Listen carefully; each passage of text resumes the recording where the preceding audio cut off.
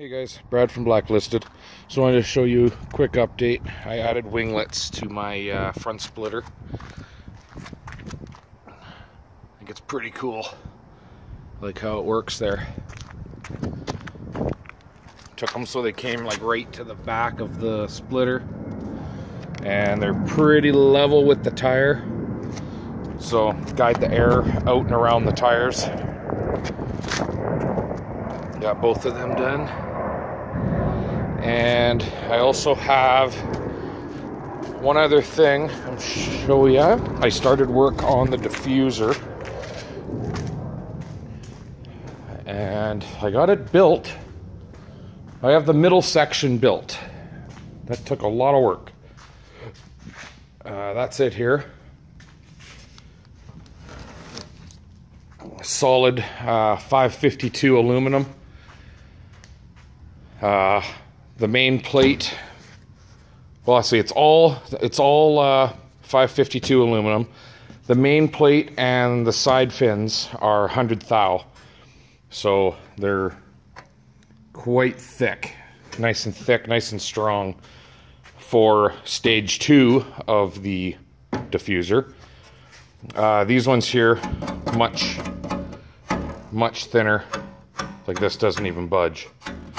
This is uh, 50 thou. They're not going to be supporting any weight like the sides will be, so needed the extra weight. Spent about $30 at Lowe's today on all new hardware, big bag of hardware. Let me uh, flip this over so you can see what it looks like from behind. So, well, actually, I'll show you too how this is going to sit.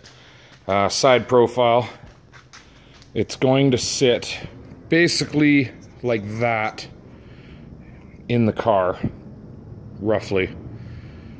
This is where my my exhaust comes in through here and it Y's here, comes out either side. So I had to make sure that these uh, didn't go back too far for to hit the hit the pipes. And here's what the back will look like. It's going to come out right about here. It should come out past the bumper. And this here, this corner, this line is actually level with the uh, exhaust tip that sticks out the furthest. So it should I should have a nice clean line straight across the back of the car. And then, like I didn't, I've seen some people do some really pointy ones of these, but I wanted to keep them kind of I don't know, subtle, I guess. They're not really subtle from the side. but yeah, I just I've seen some people do some like long spikes and come back and I I, I, do think they're cool, but I think it's a bit much for my car.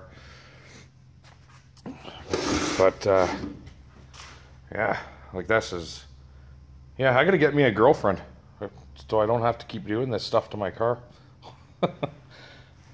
All right, uh, yeah, that's basically stage one right now, or uh, of the diffuser.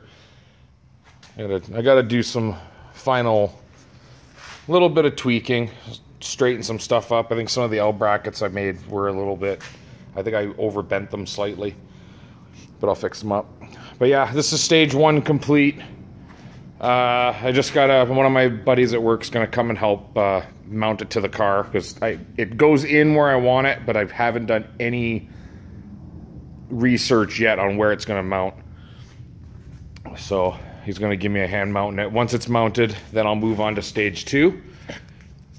And I'm not going to tell you what stage two is unless it's uh, unless I can actually do it. but uh, I'll let you know. All right. Talk to you later. Bye.